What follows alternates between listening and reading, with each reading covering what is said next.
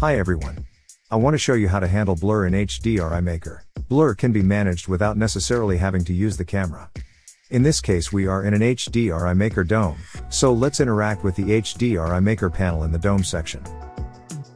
In the dome Vectors submenu, you will find sliders to adjust the blur. Simply adjust the blur strength slider to set the blur.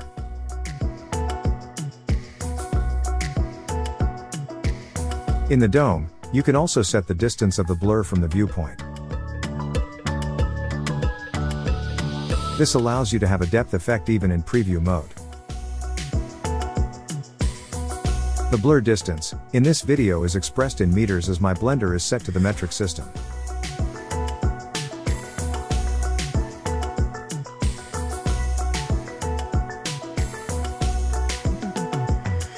Obviously the blur only affects the dome, so the subject will not be blurred. The blur works well with both Eevee and Cycles.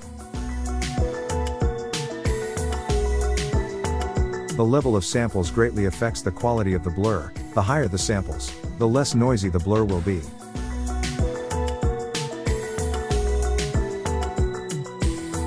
Now for a faster preview, let's go back to Eevee. The blur effect can also be reversed, just press the flip button. Adjusting the distance will have the opposite effect. The blur effect can also be applied to the world background. So I hide the dome. We go to the panel world.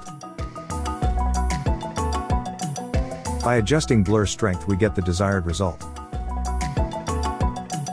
In this case, the distance from the camera can't be calculated, so we couldn't have the effect like in the dome.